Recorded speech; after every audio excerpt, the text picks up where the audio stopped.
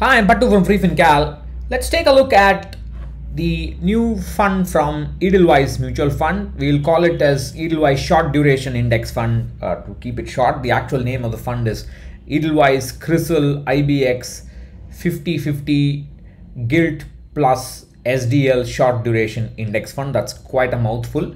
So this is basically a short duration index fund that will be investing in that index, the CRISIL uh, IBX uh, 5050 Gilt plus uh, SDL. So the as the name of the index suggests, the, the portfolio will have 50% of gilts and 50% of state development loans.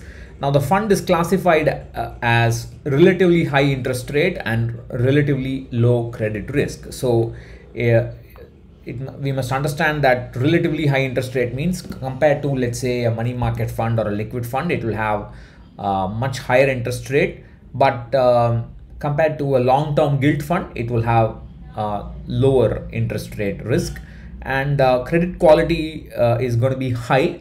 Um, of course, um, although it says it will invest only in gilt and state development bonds and the chances of state development bonds uh, defaulting is quite low uh, it would be better to say the credit risk is not zero but it's low because uh, you, you never know what happens uh, uh, uh, with the states you know taking on um, poor economic decisions and fighting with the center and so on. So you never know what's going to happen but state development bonds are not as credit worthy as gilt uh, funds although uh, the central government will uh, ensure that they don't uh, default. But there's always the first time for anything. We don't know uh, what can happen. So it's better to uh, say that the credit risk is low and not zero so uh, the index will spread the uh, bonds in four buckets. So the the these uh, gilts and state development uh, loans can be in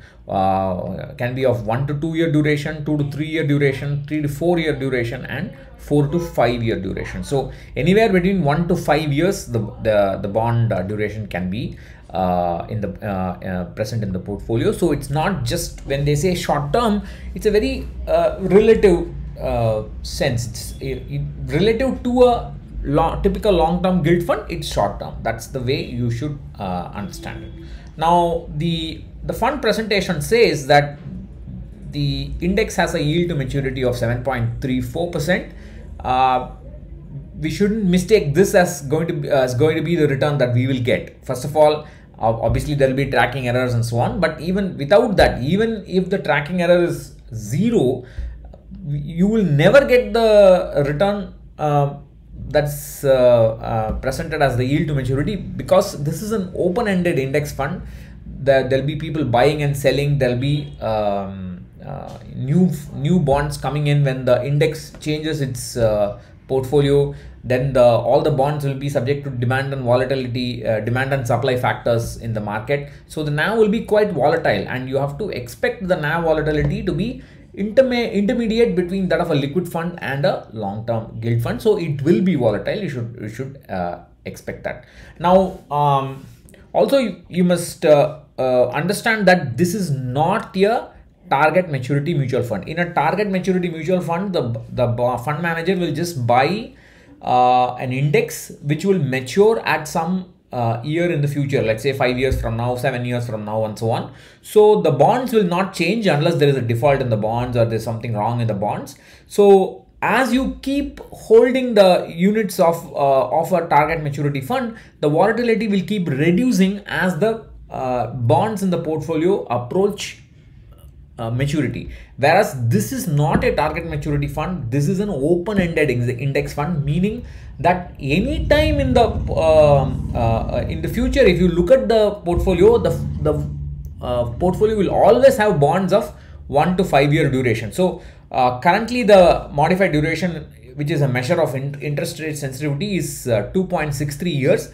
So the modified duration will be around that time, around that value, around that value of two to three years roughly, because it will invest in one to five five year bonds. Whereas in a target maturity fund, the modified duration will keep reducing with time. Uh, the interest rate sensitivity will keep reducing with time. That will not happen here. The interest rate sensitivity will be more or less constant.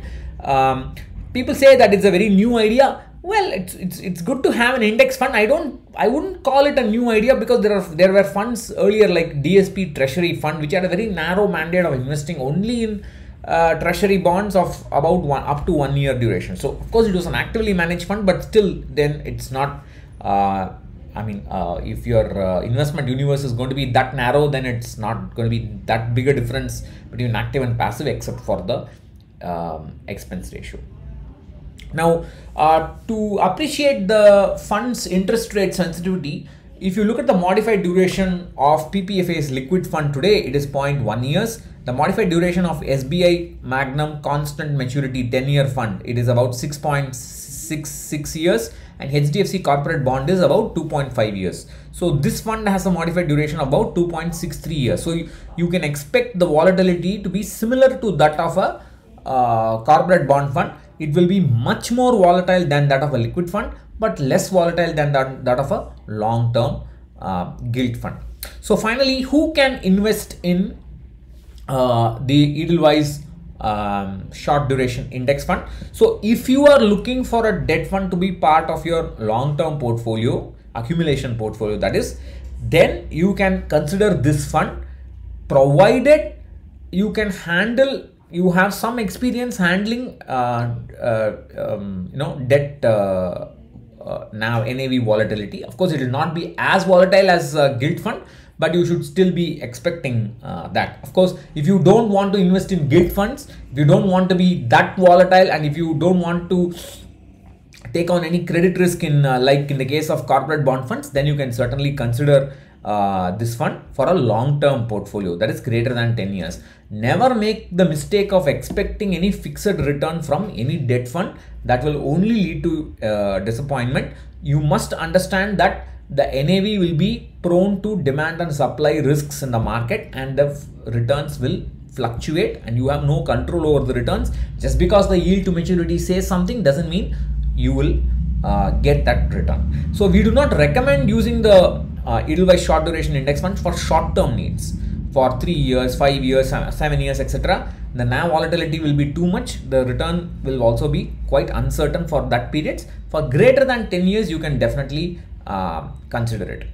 So uh, also, uh, just because the bonds will have high quality debt uh, in the portfolio doesn't mean the NAV will be steady. It, it, the uh, the NAV will be subject to market fluctuations, market demand and supply. If the if there are too many bonds uh, in the portfolio, then your NAV will uh, in, uh, sorry excuse me uh, too many bonds in the market, no no buyers, then your NAV will drop. or otherwise, if there are too many people uh, um, uh, sell again, you can also you know what I mean. I mean basically when there is too much demand or too much supply, then it will affect the NAV. Um, just like any other product so you have to expect that in this debt fund as well. It's a good product but just because the name says uh, short duration index fund it's not uh, suitable for short short term goals. It's suitable only for long term goals greater than 10 years